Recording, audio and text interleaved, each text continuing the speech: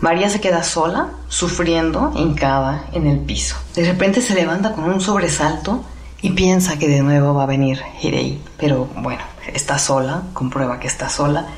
Y aquí ella hace una variación en donde se le ve alegre, danzando con sus recuerdos. Entonces empieza a bailar con estos gestos de las danzas tradicionales polacas, los brazos cruzados al frente y moviendo el torso de lado a lado, chocando los pies en el piso, algunos gestos de la mano que nos hacen entender que ella está evocando su pasado, como que en ese momento decide eh, apartar su tristeza con los bellos recuerdos que tiene de, de Polonia. Pero obviamente esto es demasiado para la joven y rompe en llanto. Toma su arpa y se pone a tocar y esto pues le reconforta, ¿no? le, le, le da otra vez un ánimo, le devuelve el alma y entonces vuelve a hacer una danza pues un poco como mazurca y es un momento en que va alternando, en el que va alternando pues la alegría de los recuerdos, pero también sus lamentos por haberlo perdido todo. Y en el momento final hace un ponché, es decir, con una pierna bien apoyada en el piso, estirada, sube la otra pierna por atrás de la espalda hasta llegar casi a un ángulo de 180 grados. Así en esta posición recoge del piso su arpa, la abraza y se hinca. Y es esta danza de María que es como una filigrana, una filigrana que está pues tejida por todos los recuerdos que María manifiesta a través de su gesto y de eh, pues este, la manera de moverse. Vamos a escuchar este hermoso solo, la polonesa cautiva por los tártaros. Es la orquesta del Teatro Marinsky de María, la composición de Boris Asafiev.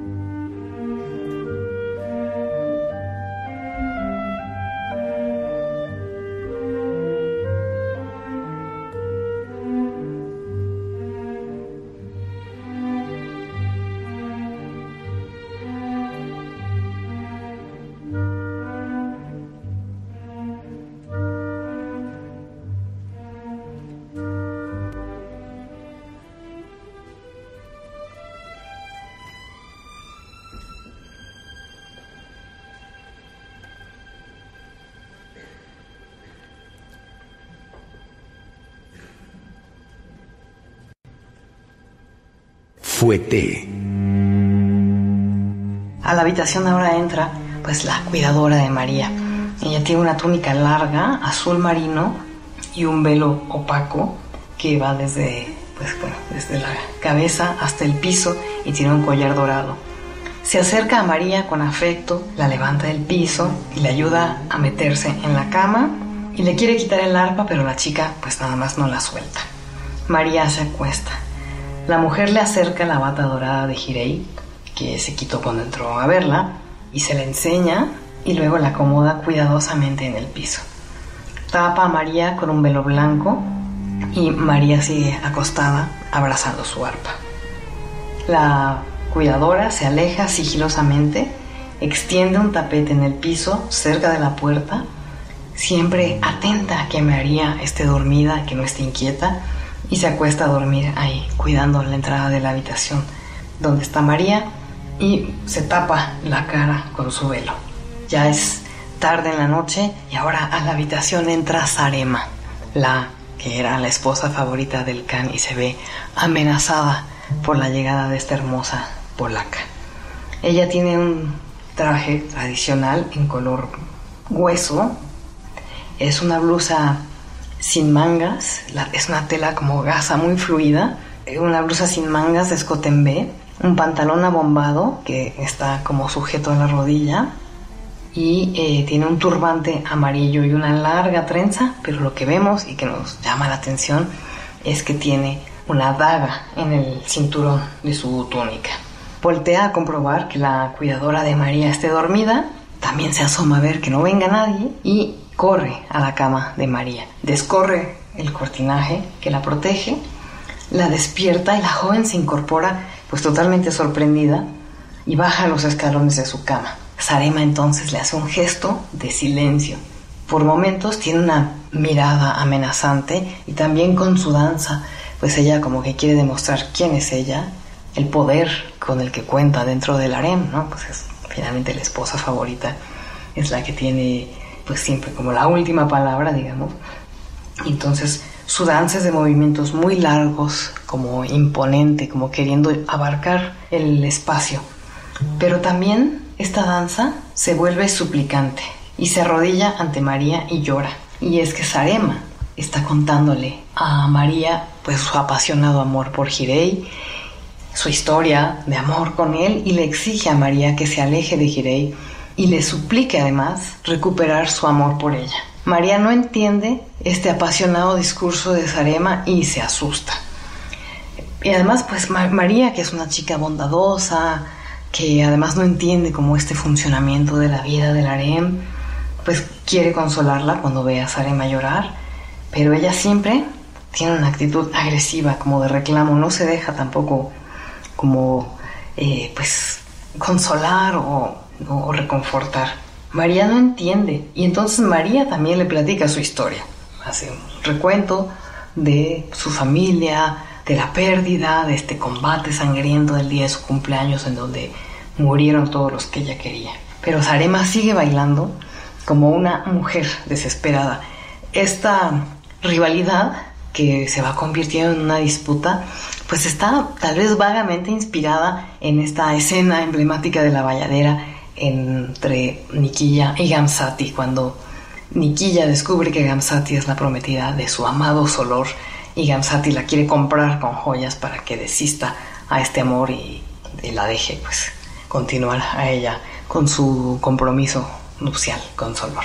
Entonces tiene un poco estos aires, incluso por las distintas personalidades ¿no? de la una y la otra. Y entonces, pues al ver que María no entiende nada y que realmente, pues también Sarema se da cuenta que María no tiene manera de ayudarla, con una danza enorme y estas, las puntas y el trabajo de piernas y, la zapatilla de punta son como unas dagas ¿no? en cada movimiento, las piernas largas y afiladas. Bueno, hay un punto en el que se acerca así a María, la toma por los hombros y la sacude. Con todo el alboroto de esta discusión, es natural que se despierta la cuidadora de María y entonces sale corriendo de la habitación. María trata de calmar a Sarema, pero esta cada vez se comporta con más violencia, está cada vez más iracunda empuja a María, saca la daga y se lanza corriendo contra la joven quien se resigna y separa la mitad de la habitación y abre el pecho para recibir el golpe de la navaja. Pues total, finalmente María no tiene nada que perder. Sarema baja la mano y se tira al piso, incapaz, pero también muy frustrada por esta idea que le pasó por la cabeza y por, no poder eh, llevarla a cabo. Y en ese momento está cuando ella se arrepintió de soltar la, el golpe de la daga, que Sarema ve en el piso el casquete de Hirei. Y entonces ahí sí su ira se desata, obviamente se imagina que ya lo tiene todo perdido y le reclama a María con una diagonal de chenes muy veloces que son unos giros con las piernas estiradas desplazándose así como en un espiral de un lado a otro de la habitación. Es un, es un movimiento muy veloz, pero además se siente amenazante. Se siente como que después de esos giros algo va a explotar. Y entonces se lanza de nuevo con la daga contra María, pero justo como ya el Han eh, Hirei fue alertado por la guardiana, él entra corriendo a la habitación en el momento preciso para detenerle la mano. Sarema se suelta la muñeca, María aterrada se sube a la base de una columna que está como a la izquierda de, su cama, pero nadie puede detener a Sarema. Llegan los eunucos, está eh, un par de miembros de la guardia, y ante todos los intentos de los ahí presentes, los gritos, los reclamos, las órdenes que grita Hirei, vemos en su gesto cómo intenta detener, nada es capaz de interponerse entre este ánimo de Sarema de terminar con María y le asesta una puñalada en la espalda. Y así es que Boris Asafiev crea la música para este momento en donde pues la ira o el amor frustrado puede más que la razón. Vamos a escuchar este fragmento con la orquesta del Teatro Marinsky.